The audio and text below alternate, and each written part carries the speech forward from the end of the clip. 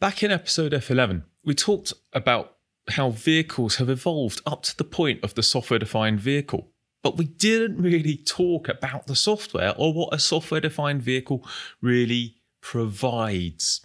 And surely there's something to say about the role of software in the software defined vehicle. Let's go find out.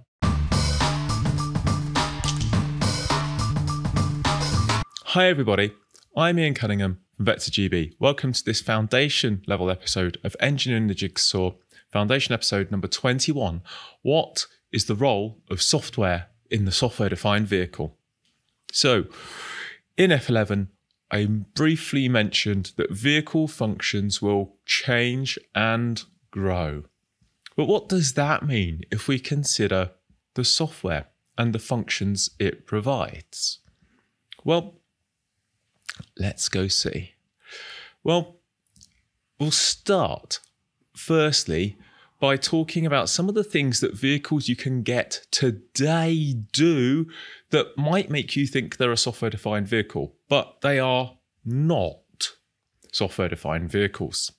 So, we might have software or functions that are optional that can be turned on or off. And it may be that we can turn those functions on or off, or it might be that we go to a dealership to get them turned on or off and get them pay some money. Or it might even be we have to pay a subscription for those functions. Now, it's not the case for a software defined vehicle that having functions that you can have optionally in the software make it a software defined vehicle. That that's that's not what we're we're talking about. And if we think about kind of the basic hardware in the vehicle, we're not also make, talking about uh, having to pay a subscription to make use of the hardware in the vehicle in some basic way. All the, the hardware in the vehicle should work. Okay, so this is also not a, a really a software defined vehicle if we have that kind of model for our software where we have to pay to, to just use the basic stuff. And when we're developing our software, we may, of course, introduce bugs some problems. Every line of code has a probability of introducing a problem or a bug. And being able to fix those bugs does not make a vehicle a software defined vehicle. So being able to apply software updates does not mean we have a software defined vehicle. Even in the case where we're able to use remote technology over the air to provide software updates, being able to update a single ECU to fix a problem does not make a vehicle a software defined vehicle.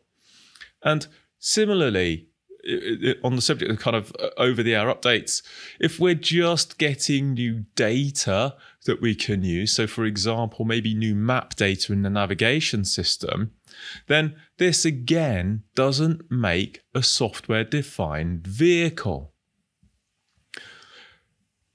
Additionally, it's quite common in vehicles today to have some kind of smartphone integration with smartphone mirroring technology that gives what's called digital continuity. So that means as you get into the car, you or or the truck or the van or the bus, whatever it is you're driving, you plug your phone in and you get access to the same apps, the same podcasts you you have on your phone outside the the vehicle. So this, again, it's quite common in modern vehicles, has been in vehicles actually for a number of years now.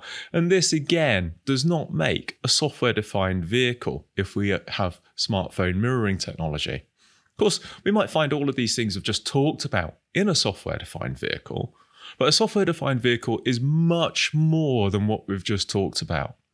So, what is a software defined vehicle?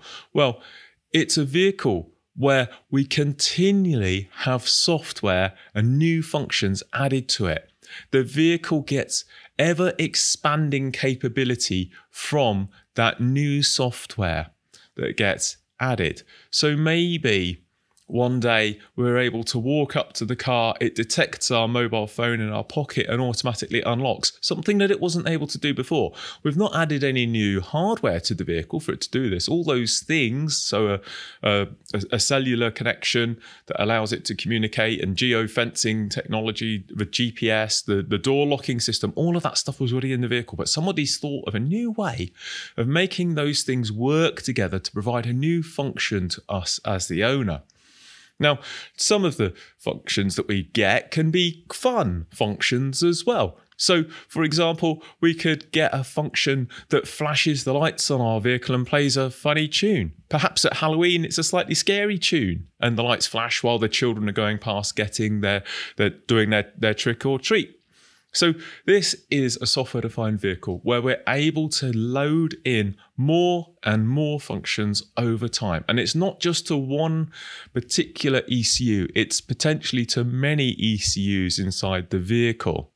So the vehicle realizes more potential from its hardware over time. So going back to our kind of idea of we, you know, we, we have some hardware that's kind of hidden away and we've got to pay a subscription to access, that's really now hopefully clear why that's not a software defined vehicle. A software defined vehicle, all that basic access to the hardware is there, and then we're layering new things on top.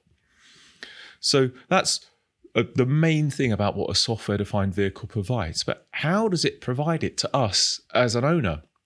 Well, it's really important that we shouldn't have to take our vehicle to a, a workshop, a, a, garage, or a dealership to, and, and have to pay money to apply these updates that are being provided to our, our vehicle. So we're able to accept them and apply them ourselves without a special tool. So maybe we we can click on the user interface in our owner's app on our mobile device. Maybe we can just touch on the infotainment in the vehicle and our new capability will appear.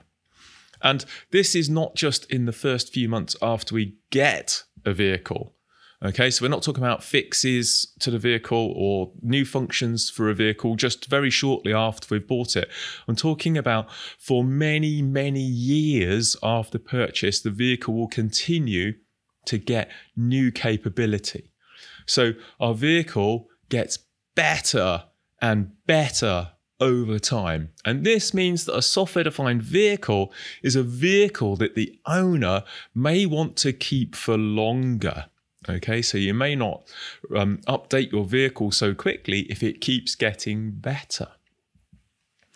As a summary, there are many vehicles today that exhibit some aspects of a software defined vehicle, or that some people might even think makes them a software defined vehicle, but they are not. So, having options enabled in software having remotely applied updates for bug fixes or new data such as revised maps in the navigation system. And of course, having digital continuity through smartphone mirroring technology. These are all nice, but they are not everything that makes a software defined vehicle. A software defined vehicle is more.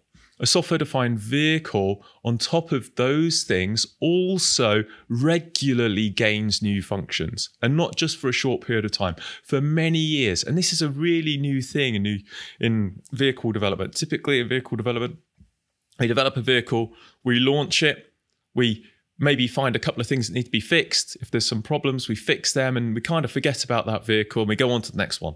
A software defined vehicle, we're going to keep thinking about that vehicle. We're going to keep making it better for our customers, keep delivering new capability to our customers. And that means that the software defined vehicle becomes more valued over time by its owners. If you want to know more, please visit our website for the support of software defined vehicle uh, concepts across Vector's products and also case studies explaining some of the concepts. Watch out for our events and articles in this new area as well. Make sure to join me after the music if you want to know more or have any questions or want to contact us in any way. See you soon.